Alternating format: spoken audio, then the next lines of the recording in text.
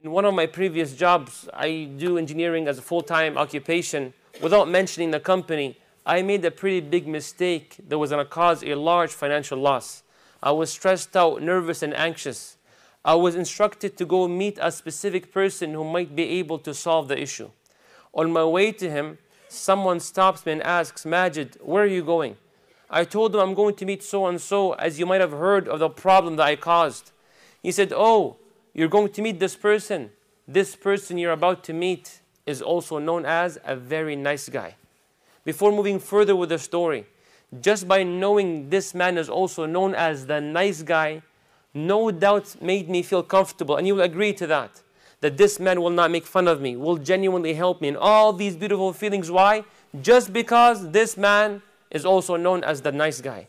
With this being said, and Allah is the best of examples, how do you feel when you are told Allah is also known as Al Mujib, the one who responds to your call whenever you call upon Him. Allah Al Mujib, the one who gives you whatever is best for you whenever you ask Him. If this does not make your heart rest to a certain extent, then there might be a serious deficiency in understanding who Allah subhanahu wa ta'ala is. Brothers and sisters, all of us are poor and weak and we tend to complain to others about our state, hoping they may fulfill our need. And if one time we record ourselves with a camera, how we complain to our brothers and sisters genuinely, we will be so amazed at how focused and sincere and sometimes even cry when we complain to others. And there might be something, nothing wrong with it as long as we don't cross the limits. But you know what's wrong is when we are in a state of sajda and prostration the closest position you can ever be to Allah. As the Prophet of Allah وسلم, has said, when you are in front of Allah Al Kareem, the most generous, Al Ghani, the rich and self sufficient, the one when he wants something to happen, he says, Kun fayakun bi, and it is. And in that state, we're not as focused, we're not as passionate, we're not as sincere, as if Allah is the poor and stingy and our friend is the rich and generous. We seek Allah's refuge from that understanding. Ameen Rabbil Alameen. Allah says in the Quran, وَمَا قَدَرُ اللَّهَ حَقَّ قَدْرِهِ Allah said people have not appraised, have not appreciated Allah the way Allah deserves to be appreciated. Then Allah says, وَالْأَرْضُ جَمِيعًا قَبَضَتُهُ يَوْمَ الْقِيَامَةِ وَالسَّمَاوَاتُ مَطْوِيَّاتٌ بِيَمِينِهِ سُبْحَانَهُ وَتَعَالَى عَمَّا يُشْرِكُونَ Then Allah says, since you don't appreciate Allah, then Allah tells you how strong He is. He says Allah folds the heaven and folds the earth then Allah says, I'm free from all those who associate with me. La ilaha illallah Muhammad Rasulullah. In hopes of this khutbah, even though it might be 25 minutes or so. But I believe whenever I give a talk, and you should sit in any khutbah, and any reminder with that mentality that this may change my life.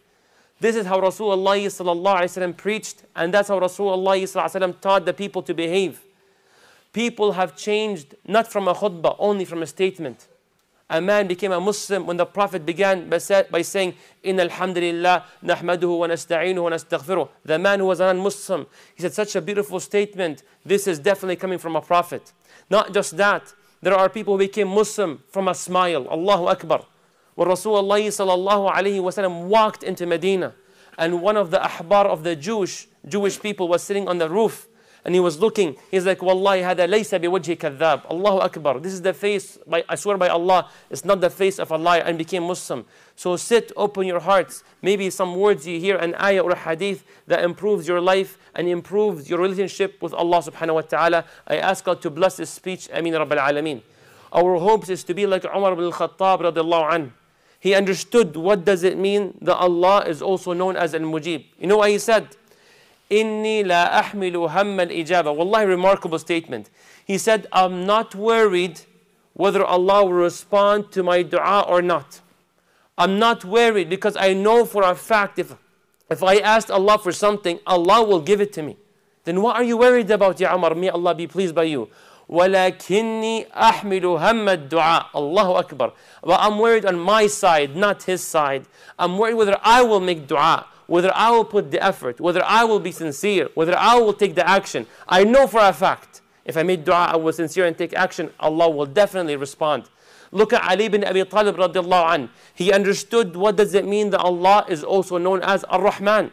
He said when Yawm al-Qiyamah comes, and let's say Allah gives me the option for Him to judge me or for my parents to judge me, I would choose Allah over my parents. And anybody here who has a child appreciates this example. Why? Because I know Allah has more mercy towards me than my parents. Allahu Akbar. May Allah allow us to understand His mercy. Ameen Rabbil Alameen.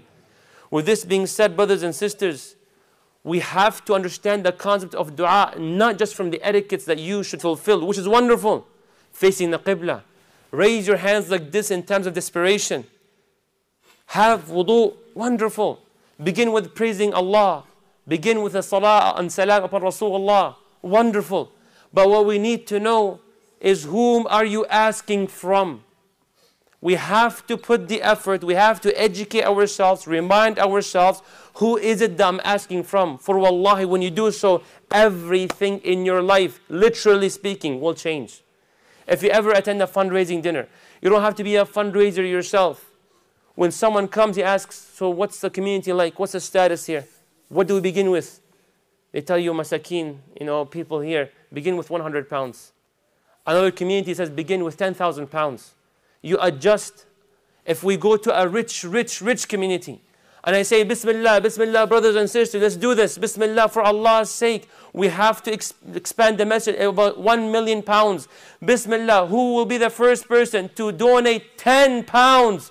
Bismillah. People will be like, shame on you. Beginning with 10 pounds? People will be offended by that. Allah's the best of examples. How dare we? Shame on me and shame on those who make dua to Allah and with disrespect to Allah subhanahu wa ta'ala. Doubt will he really be able to do that or not? A'udhu billahi min shaitan rajim.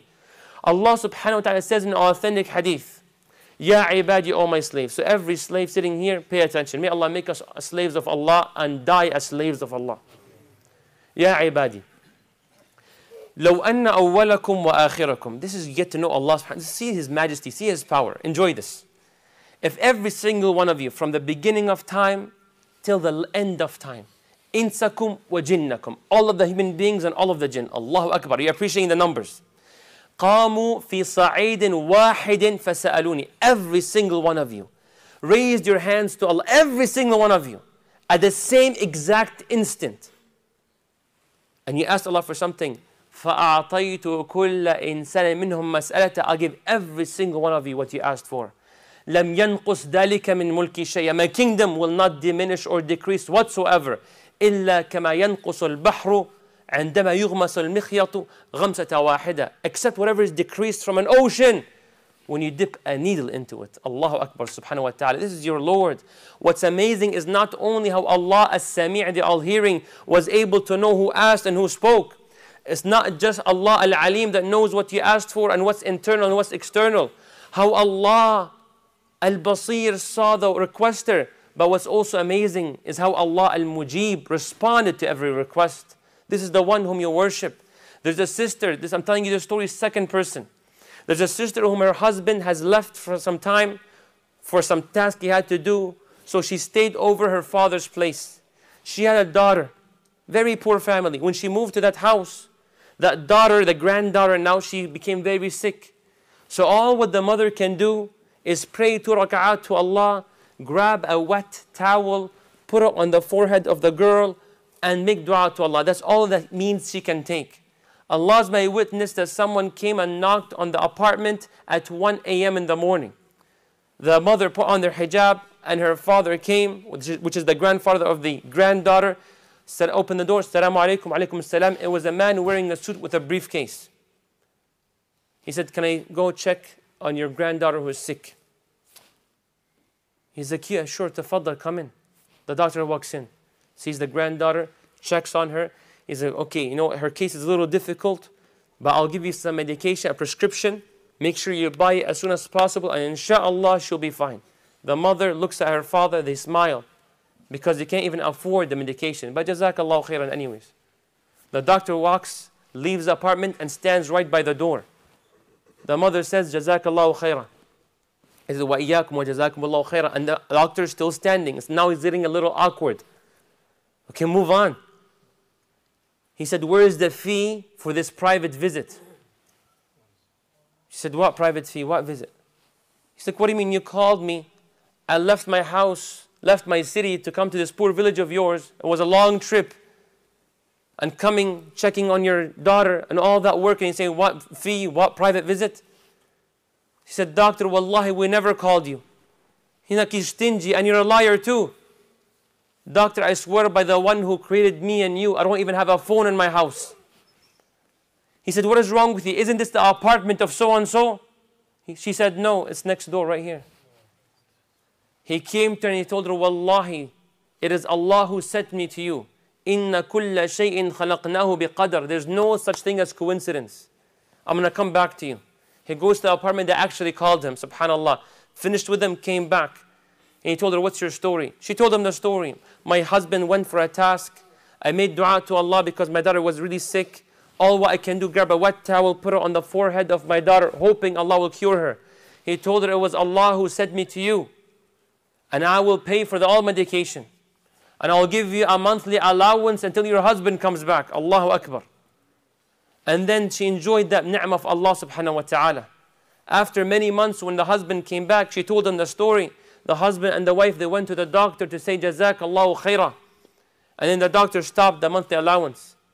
But just to teach you how beautiful the dua was. SubhanAllah, actually, my sheikh was saying that when that mother and that father had difficult financial situations, she would tell her husband, How about you leave for some time, have Allah provide for us?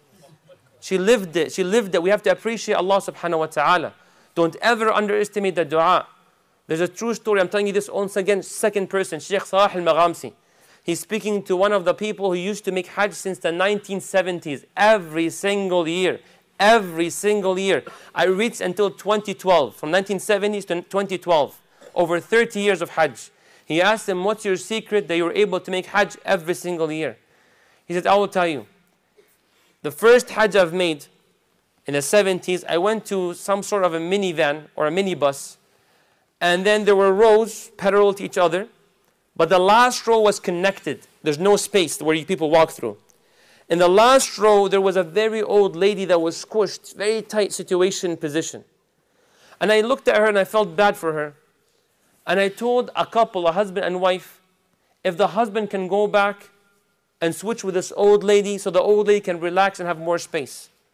I told the husband this, and the husband said, I'm sorry, I will not change this, my seat because my, myself and my wife, we came in early for a purpose to sit in these comfortable seats. So I don't want to give up my seat just like that. He said, Akhi, come, look at this old lady, look at her. She's, look at the position, she's you know, crumbling amongst these people, squished in between them. You're a healthy young man. I ask you by Allah, go back, switch the seats, Allah will reward you. The man says, I'm sorry, I came, I came early, I want to be by my wife, and so on back and forth, back and forth. Then the man said, Okay, I will switch. He, as he switched, the old lady moved forward, amazed and happy. She extends her arms, extends her legs, feels so comfortable. She makes dua to the brother. She says, I ask Allah subhanahu wa ta'ala to allow you to make Hajj every single year. 1970s, the brother swears by Allah. There were years that came, he had no intention whatsoever and all of a sudden the visa comes up. He swears by Allah, there were years he doesn't even afford to even go for Hajj.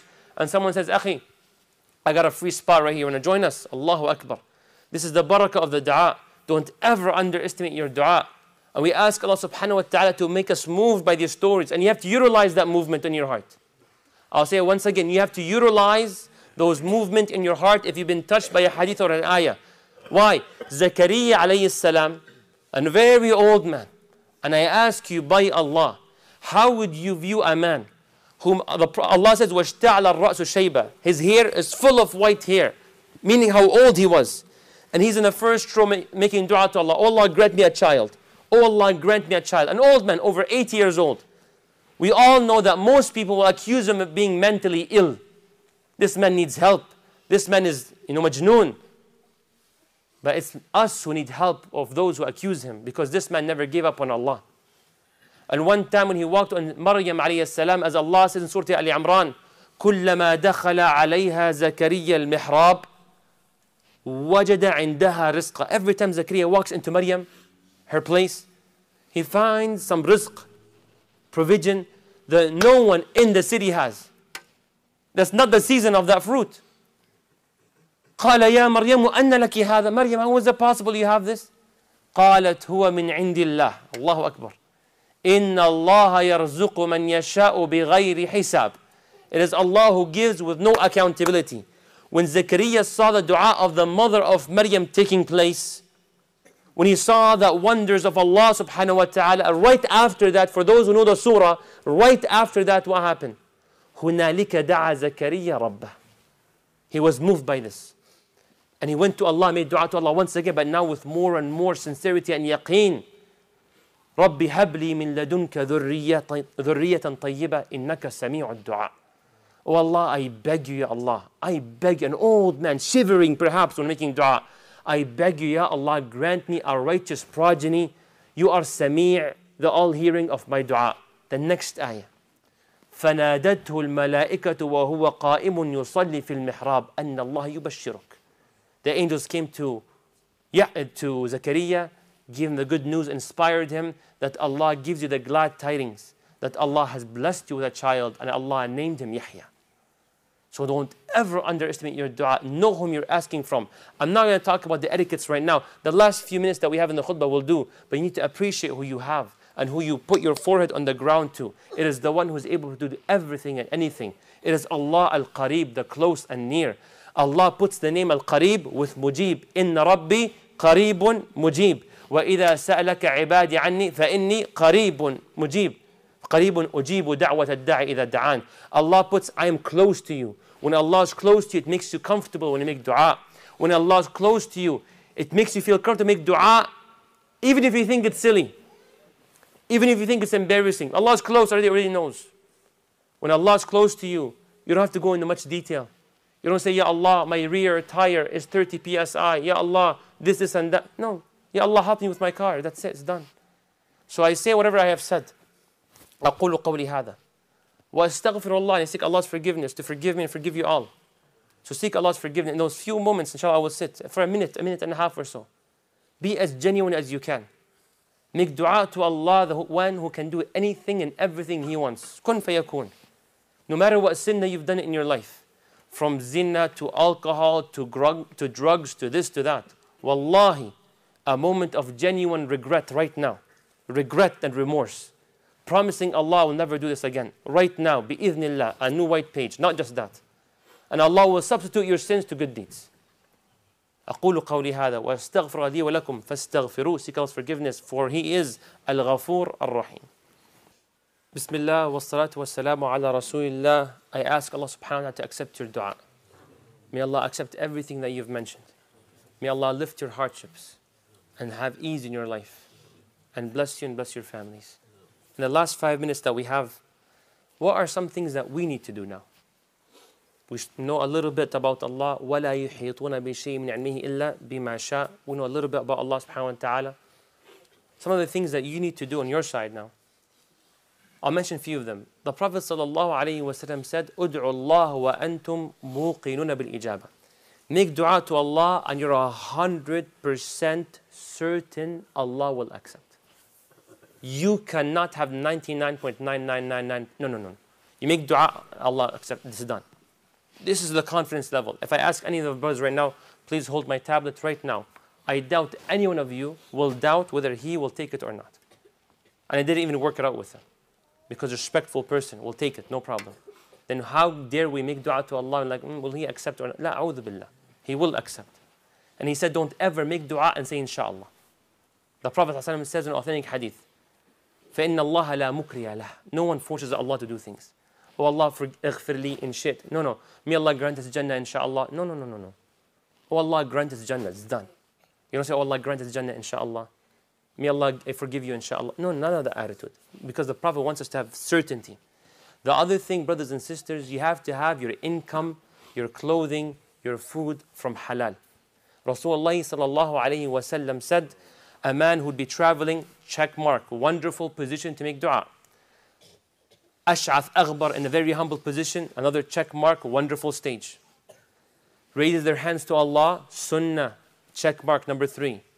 He says, Ya Rab, Ya Rab, calls upon Allah, not a grave, not this, not that, wonderful, to Allah, four check marks. However, مطعمه من حرام مشربه من حرام ملبسه من حرام their clothing is from haram whether the money that you bought the clothing with or the clothing itself the food itself or the money you bought the food with is haram. Then the Prophet says, فَأَنَّ يُسْتَجَابُ لِذَلِكَ How does this man expect Allah to answer their dua?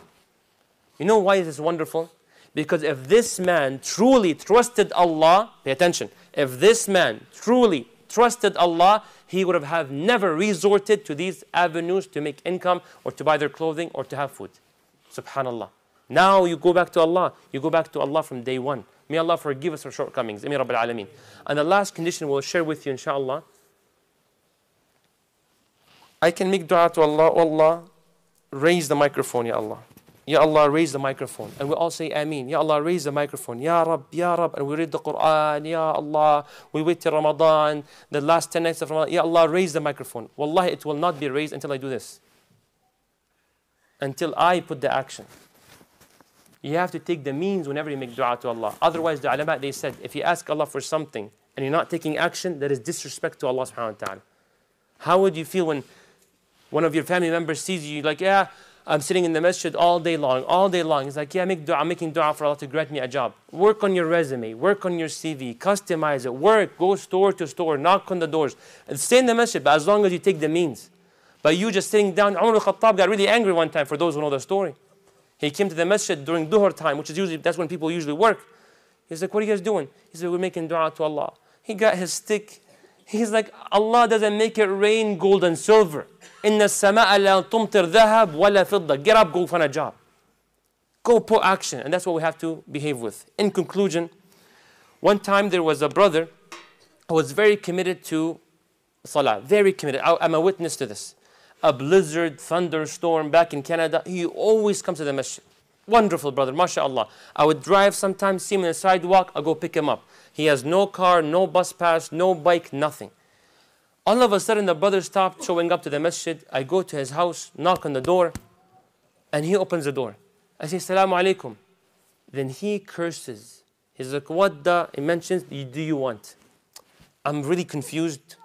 Very dedicated person committed to the masjid, and that's your response is wajib. Saying salam is sunnah. Responding is an obligation. Don't tell me I hate that brother, I have issues. No, no issues. When say salam, you have to respond back. May Allah allow us to follow the sunnah. Ameen Rabbil Alameen. Then he said, um, he's like, what do you want? I'm like, I came to check on you. You, you were absent for a week from the masjid or so. He's like, I'm healthy, I'm standing, now move on in life. I'm like, I'm not moving on until you tell me what's wrong with you. Because we're a little close, so I can have, you know, subjective. Back and forth, back and forth. He's like, okay, come here. So I go to his house. What's your story? He said, you know how dedicated I am to the masjid, yes or no? I'm like, yes, I admit to that. He's like, I come to the masjid regardless of the weather. I have no bike. I walk every single time. I'm like, Allah's my witness. Yes, I do believe that. And I personally pick you up. Yes, I know. But what's the problem? Why you stopped coming to the masjid? What's wrong with your attitude?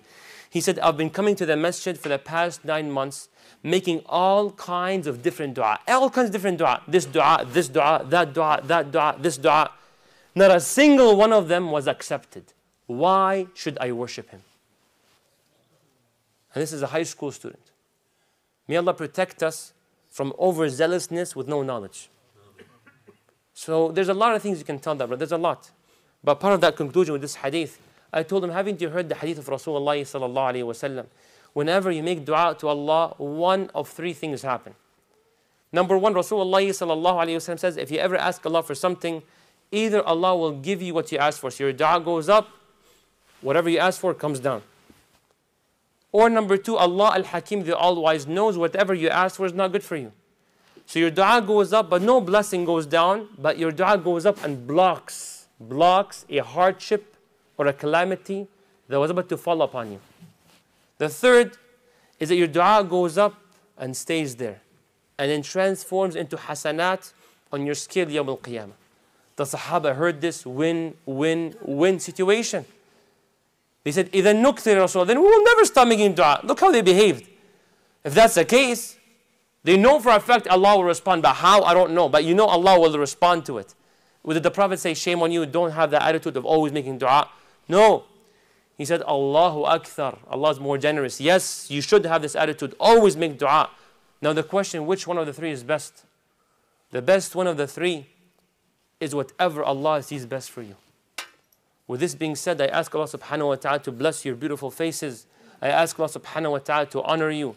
I ask Allah subhanahu wa ta'ala an yaghfira lakum jami'a to forgive your shortcomings and forgive my shortcomings. I ask Allah al-wadud, the all-loving, and yatawaddada ilayna إلينا. I ask Allah الرحمن أن يرحمنا برحمته التي وسعت كل شيء. And I ask Allah subhanahu wa ta'ala to bless your lives and bless your families and strengthen your ties of kinship. أن يقوي صلة أرحامنا أمين رب العالمين. And I ask Allah subhanahu wa ta'ala to bless your time and bless your health. And I ask Allah to allow you to utilize your free time and your good health. نسأل الله سبحانه وتعالى أن يجعلنا أن نستغل صحتنا وفراغ أوقاتنا أمين رب العالمين